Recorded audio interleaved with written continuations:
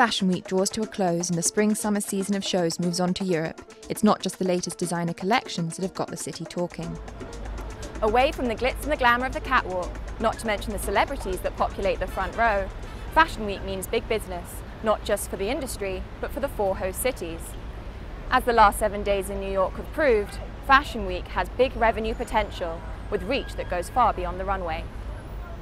Data from the New York Economic Development Council estimates that the biannual event brings in an additional $865 million to the city each year, with up to 232,000 attendees spending in hotels, shops, and restaurants across Manhattan. There's almost a quarter of a million people who come throughout the year to New York City for Fashion and Fashion Week. That's a significant amount of out of town guests. And with that, they bring almost $900 million worth of economic impact in the city. That is huge. And in fashion being the second largest industry in New York City, it's important. City officials are only too aware that the media spotlight Fashion Week shines upon New York, plus the big name sponsors that underwrite many of the events, is vital in terms of attracting visitors and their much needed spending power.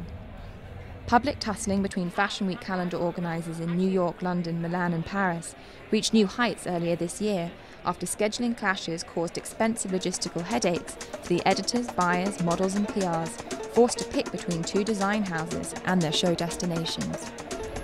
Look, we gave up on the scheduling conversation, to be quite honest with you. Uh, at the CFDA, we listened to our members, we listened to the American industry, and they were saying that the schedule didn't work for them. It was too early in September and too early in February. So we tried with our counterparts in Europe to shift that back a week.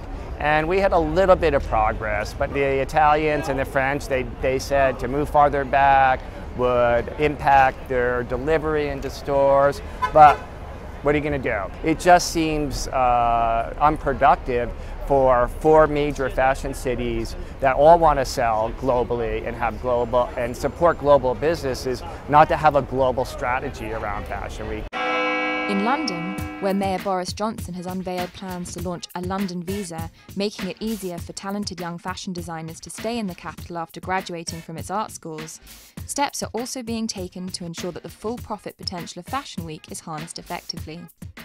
After years of losing a series of young British stars to rival European cities, Caroline Rush, chair of the British Fashion Council, said during the New York shows that she and her co workers are doing their very best to accommodate more fledgling brands in London who could significantly add to the industry's long term growth story. Uh, we often get asked whether we can accommodate any more designers in London. It is a, good problem to have, I think, is that I know that when the audiences come to London, they work really hard uh, to see as many shows as possible. And that's partly because we have so much incredible talent, right from the young designers through to, of course, the global brands like Burberry, Tom Ford, uh, and Mulberry. And so there's a huge amount of content there to see. We try to look at different ways to be able to build in uh, different designer groups, whether it's presentations, installations, so that actually the audiences have the opportunity to get to see as many designers as possible. As in New York, the money brought into London via Fashion Week continues to be critical for the retail business. Brands estimate that the 58 catwalk shows and 5,000 trade visitors that make up London Fashion Week generate around £100 million worth of orders per season. As a retailer, what happens during London Fashion Week is that every other retail store in the world comes to look at your shop.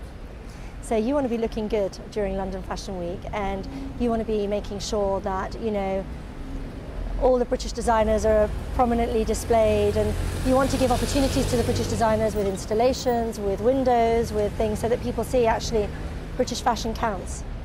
You know, when I look around me now at the shows in London compared to 10 years ago or even five years ago, um, there is probably 50 to 70% more international buyers at the London shows.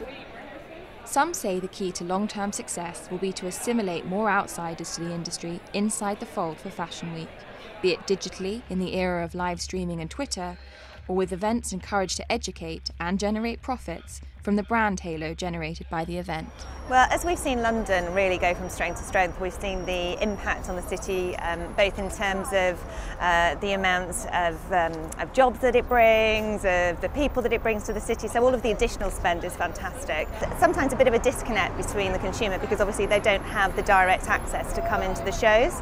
Uh, we combat that in London. We have a consumer event that happens directly after Fashion Week called London Fashion Weekend. So it then allows them to come into the main venue and feel that they're part of that. All four host cities are constantly looking for ways to ensure that the power of Fashion Week isn't diluted and that their stars continue to shine. Despite rising costs, logistical headaches, and the growth of Fashion Week in secondary cities like Cape Town, Copenhagen, and Rio, it's clear that for many in this global industry, the shows must go on. This is Elizabeth Paton for the Financial Times.